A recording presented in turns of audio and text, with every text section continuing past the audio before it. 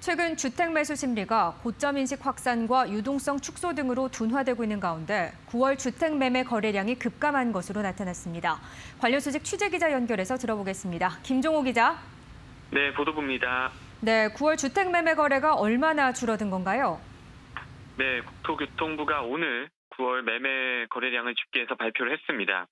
이 자료를 보면 전국 기준 9월 주택 매매 거래량은 총 8만 1,631건으로 전월 대비 8.3% 감소한 것으로 나타났습니다.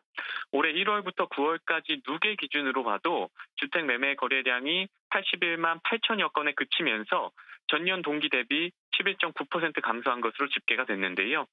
특히 그동안 집값 상승이 가팔랐던 서울의 주택 매매 거래량 둔화가 좀 두드러졌습니다. 서울의 9월 주택 매매 거래량은 총 9,584건으로 1만 건에도 미치지 못하면서 전월 대비 13%나 추락했습니다. 서울에서도 아파트로 범위를 더 좁히면 거래량이 2,600여 건에 그치면서 2019년 3월 이후 약 2년 반 만에 최저치를 기록했습니다.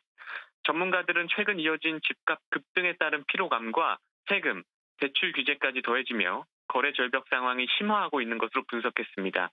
특히 최근 매도자와 매수자 간 극심한 눈치 싸움이 지속되는 가운데 서울의 경우 높은 집값에 따른 세 부담으로 집을 사거나 파는 것 자체가 부담스러워졌다는 분석입니다.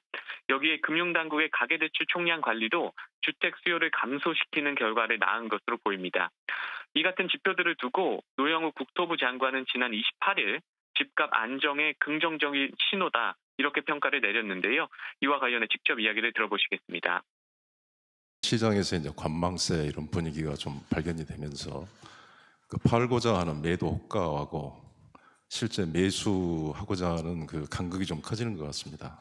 그러다 보니까 그 매매 전세 할 것 없이 매물은 이제 점차 이렇게 쌓여가는 그런 추세인데 거래는 이렇게 많이 줄어들고 있는 객관적인 지표로 나타나는 걸 보면은 어, 어떤 주택 시장이 안정 국면으로 어, 진입하는 그 초기 국면에 들어가 있지 않나 그렇게 판단을 하고 있습니다.